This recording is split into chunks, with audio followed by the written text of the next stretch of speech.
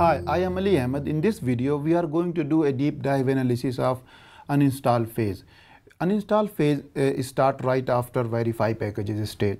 So let's jump into the logs and see what is going on there in this stage. So as you can see, at this stage, your GUI status will be like removing component and if we go into the log so this is vim vcs msi.log which is windows log you can see stopping services and it is just removing uh, removing uh, 6x product return value. 1 means the um, you know job whatever uh, was expected by windows installer uh, was uh, done.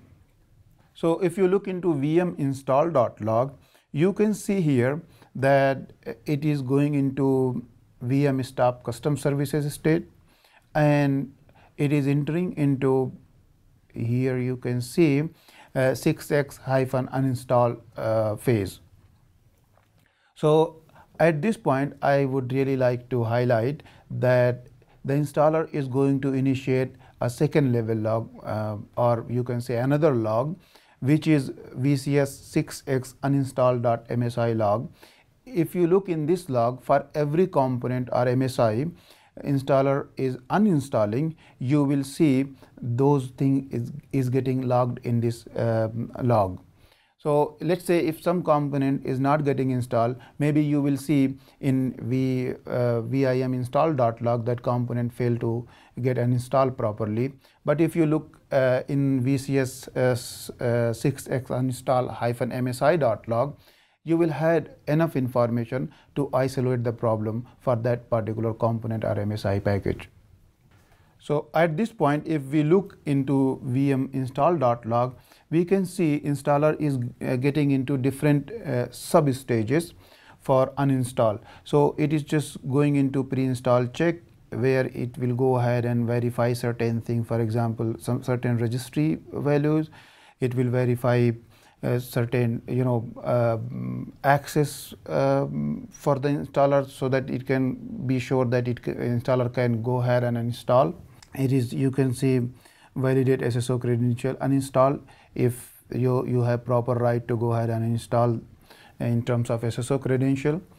Then if we go next we can see installer is going into the second sub stage where it is going to unconfigure the packages so now at this stage installer will go ahead and stop the respective services and uh, unconfigure uh, all the component required uh, in, in a sequence. So here you can see that it is just setting the status uh, 0 here uh, I have actually uh, copied different logs so you can see from 0 to 17 it's it's because I have just you know taken the first log and copied the last one or I just remove all those things so that we can have um, most of the log uh, to go ahead and verify.